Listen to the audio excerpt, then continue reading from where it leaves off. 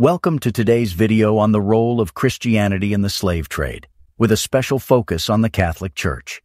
Sometimes it's important to dive into the uncomfortable and difficult parts of history, even if it makes us squirm a little.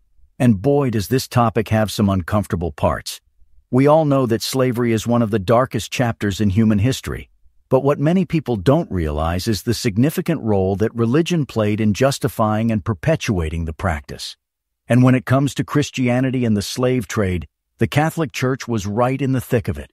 From Pope Nicholas V's 1452 papal bull that authorized the Portuguese to enslave Saracens, pagans, and other enemies of Christ, to the Jesuit priests who owned slaves themselves, there's a lot to unpack here. But fear not, my dear viewers. We'll take a look at the history, theology, and the human impact of Christianity's involvement in the slave trade all while keeping it light and, hopefully, entertaining. So sit back, grab your popcorn, and get ready to learn about a side of Christianity that might make you cringe a little. It's going to be a wild ride. The slave trade involved the transportation and sale of African people as slaves to the Americas and other parts of the world from the 16th to the 19th century. It was a brutal and dehumanizing practice that involved capturing and enslaving people against their will separating them from their families and loved ones, and forcing them to work under inhumane conditions.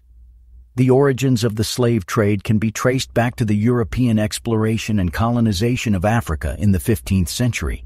Europeans wanted to establish colonies in the Americas, and they needed a cheap labor source to work on their plantations and mines.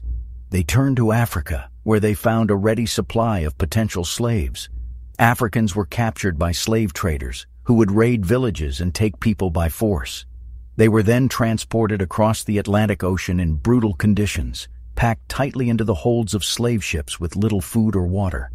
Many died on the journey, and those who survived were often sick and weak by the time they reached their destination.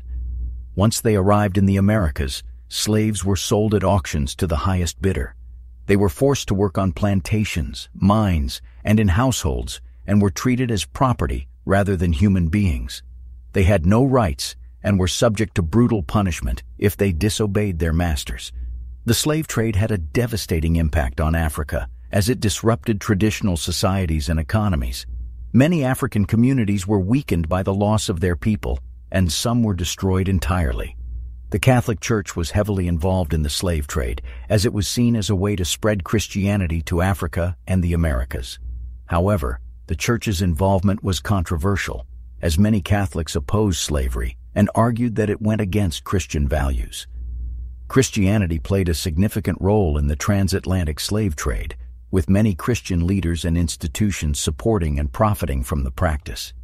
This fact is often overlooked, as many people associate Christianity with benevolence and goodwill. However, the reality is that many Christian leaders and institutions were complicit in the slave trade, and it is important to understand their role in this dark chapter of history. One of the most notable Christian institutions involved in the slave trade was the Catholic Church.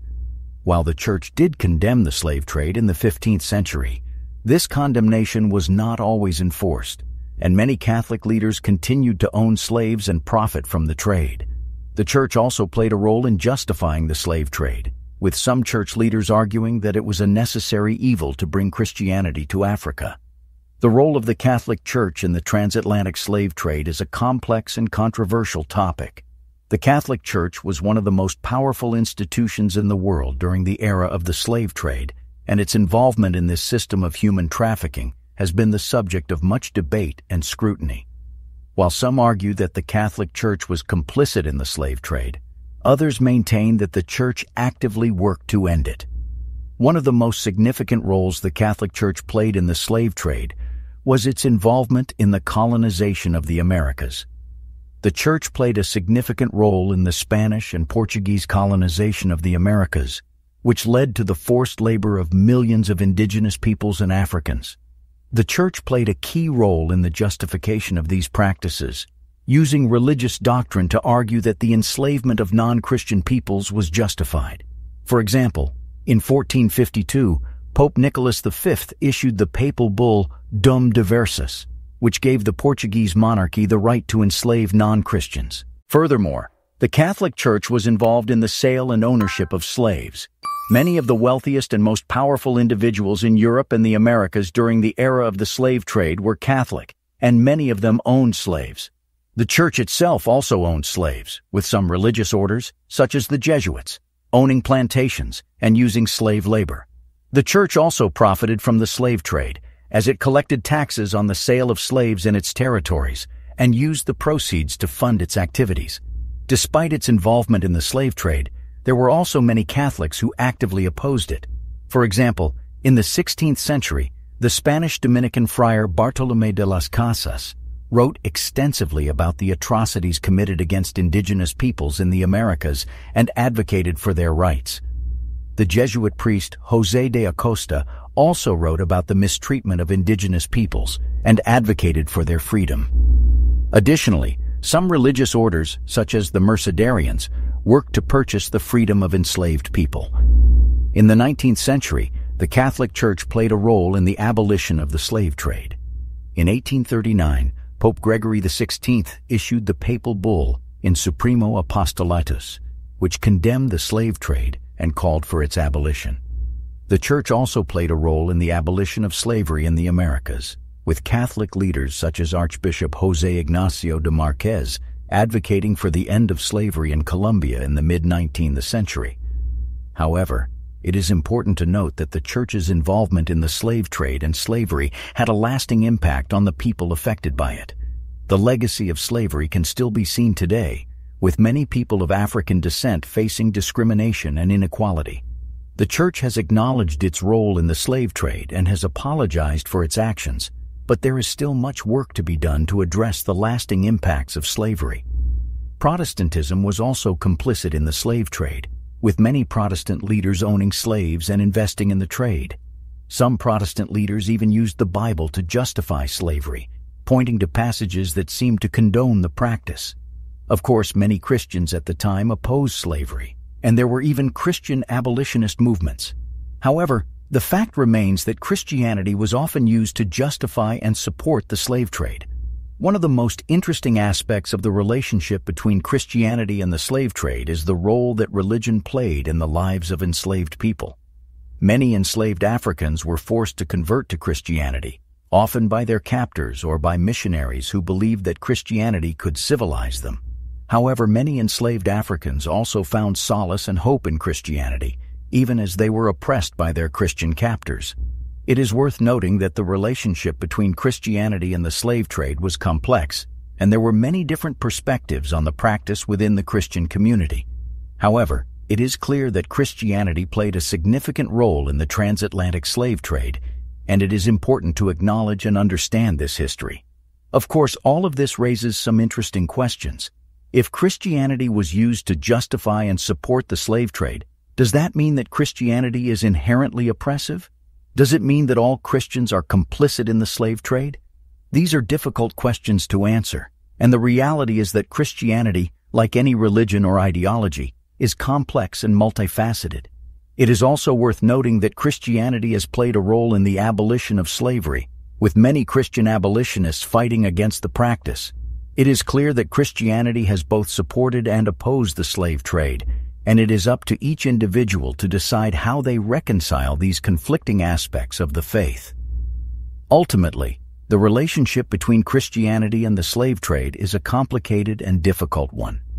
While it is important to acknowledge the role that Christianity played in this dark chapter of history, it is also important to recognize that Christianity, like any religion or ideology, is diverse and multifaceted. The truth is, the legacy of the slave trade is still being felt today, centuries after the last slave ship set sail.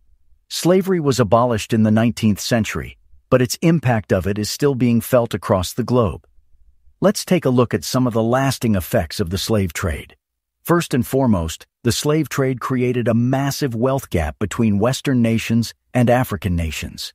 The slave trade was a huge source of revenue for countries like Britain, France, and Spain, and the wealth generated from it was used to fund the Industrial Revolution. Meanwhile, African nations were stripped of their resources and their people, leaving them impoverished and underdeveloped. To this day, many African nations are still struggling to catch up to the rest of the world in terms of economic development. The legacy of the slave trade is also evident in the racial inequalities that still exist in many parts of the world. The idea of white supremacy, which was used to justify the slave trade, is still present in many societies today. It's hard to deny that race plays a role in things like hiring decisions, police brutality, and the criminal justice system. These issues are deeply ingrained in our societies, and it will take a lot of work to undo the damage that has been done. One of the most insidious legacies of the slave trade is the notion of whiteness itself. The idea of a white race is a relatively recent invention, and it was created in large part to justify the subjugation of non-white peoples. The idea that there are inherent differences between races, and that some are superior to others, has been used to justify everything from slavery to colonialism to genocide.